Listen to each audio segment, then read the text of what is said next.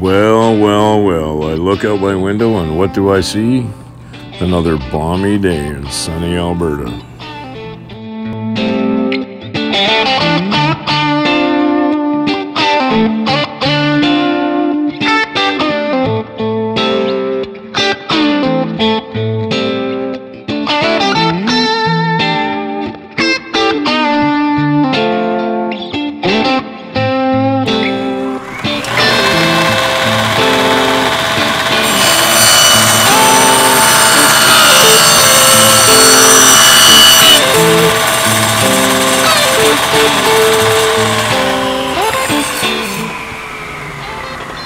I love to build stuff. Always have. Ever since that aha moment in grade 7 shop class when I realized I really love this, and I'm actually pretty good at it. I grew up in an era of rabbit ears and rotary phones and standing on the back seat. I grew up in a time where if you wanted to learn something and you weren't fortunate enough to have somebody to show you, you either bought a book or just figured it out on your own. I may not be the smartest guy, but I'm smart enough to realize that things like YouTube have just made our craft and the artisans that practice it way better than it's ever been. I was lucky enough to get my foundation from my dad. Guys like Jimmy DiResta, the Samurai, Chris from Third Coast, these guys have taken away any excuse for not doing the best work that you're personally capable of. For foundation woodworking, guys like James from Stumpy Nubs, Paul Sellers, and of course Rob Cosman have allowed the average woodworker to excel to levels that as little as a decade ago they'd never be able to achieve. So no matter what your project, whether it's something as big as this or something as small as this, there's something out there for you. Once again, Annie has to make her cameo.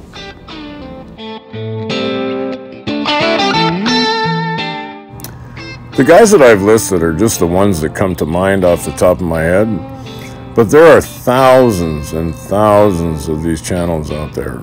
So it makes me humbled and honored that you've taken the time to come and check out mine. This seemed like a good time to introduce myself. Hang out for a while, get to know each other, give you some idea of what it is I'm all about.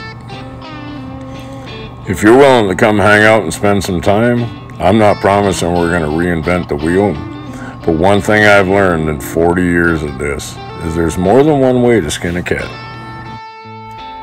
As advantageous as this new era is, I still love the way things were done a hundred years ago.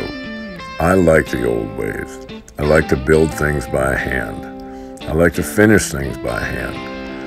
I love the way they feel. I love the way they look. I don't sand anymore. I love planes. Wait a second. Not that kind of plane. Although in my life I think I've built over a hundred of these. I'm always building something.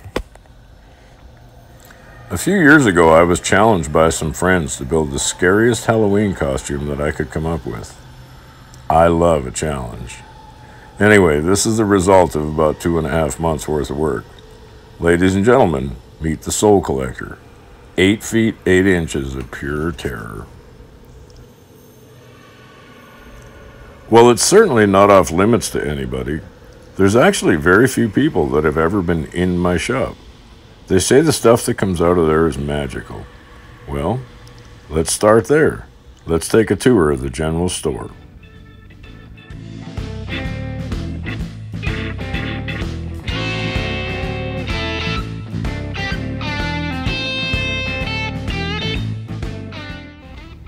Welcome to my space. Organized chaos.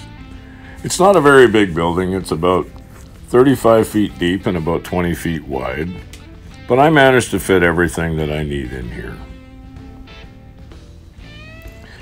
Being an old time woodworker for years, I kind of rejected CNC.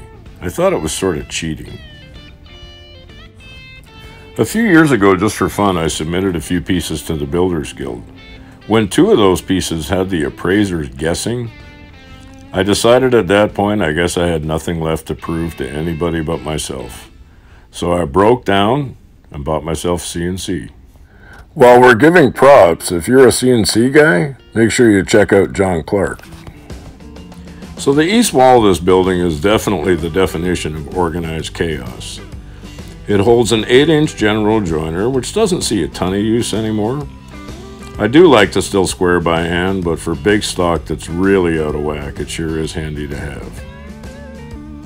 The rest of this wall is kind of a plethora of small hand tools, turning tools, and a 36 inch revolver lathe, which gets a lot of use at my place.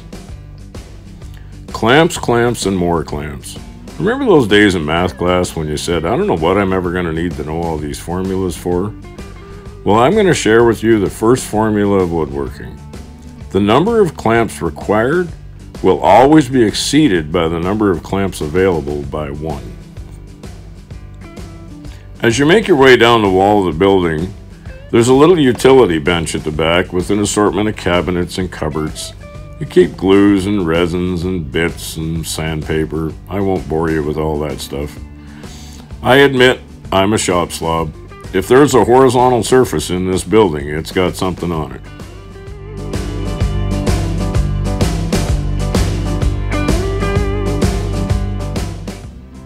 The back wall of the building has a small bench which holds my miter saw, which I still have to build a fixed fence for, and an 11 inch bandsaw. On the opposite wall of the building, that monstrosity, believe it or not, is a folding toolbox. At one point, my shop space was my garage, and I had to share it with my wife and kids. So I built myself this.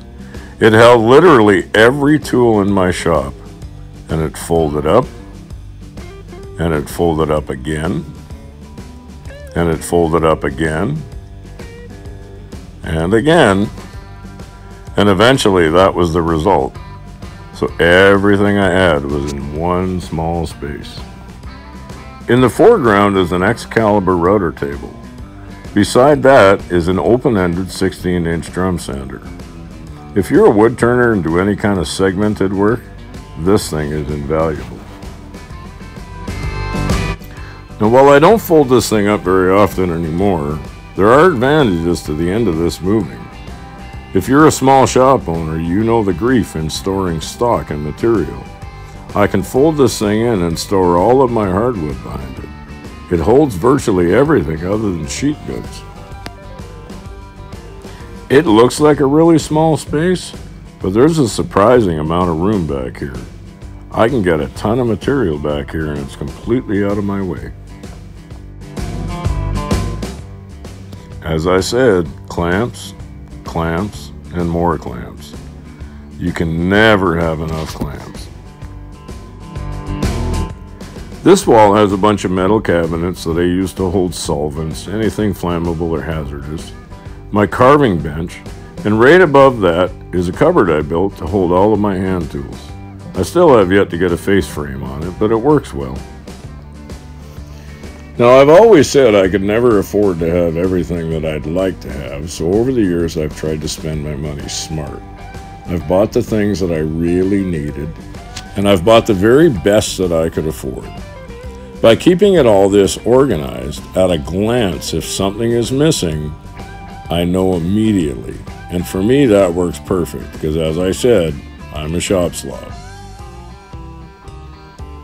If you guys are interested in a more in-depth tour of this cabinet, let me know and I'd be more than happy to do it for you.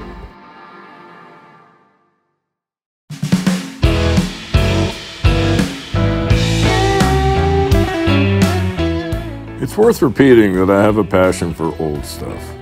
I have a really small collection of old planes and shapers, and they're all restored and they all work. I love working with. Under the end of this bench is my sharpening station.